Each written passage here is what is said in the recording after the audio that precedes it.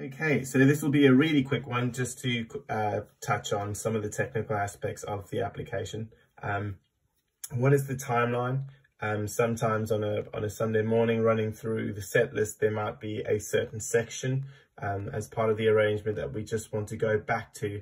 Um, it's either for a, like a creative reason or we're just not happy with how it went down during the rehearsal. So let's say, for example, Lion and the Lamb um, I'd really like us to go back to the bridge because I wasn't 100% happy with how we did it. Um, all you have to do is just double tap on any section um, before you click play and it'll take you to there. There we go, so that goes in on the A minor 7th and it gives you two bars bridge. until you get to the bridge.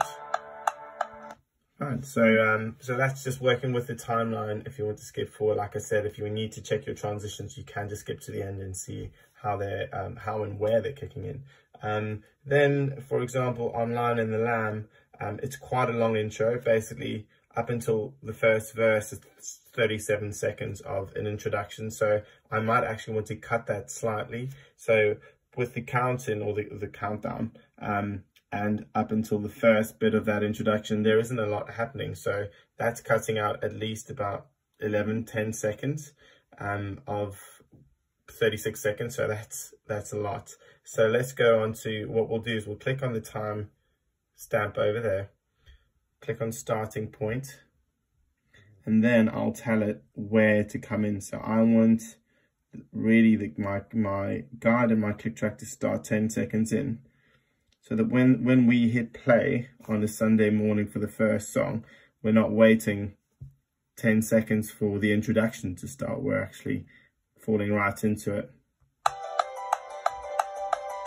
One, two, three, four. Okay. So that's really helpful. Um, you can do the same thing at the end of the song, of a song, if you don't want the ending of a song to continue um, much longer than it is then um, or for as long as, as it is you can just set the, the end point to uh, where you feel you want to end it. Um, and then one last thing is editing options. When you click on on edit say for example living hope um, we we get to to Canfield on Sunday morning and I decide wow my vocals really aren't ready um, for this song and see, I can change that.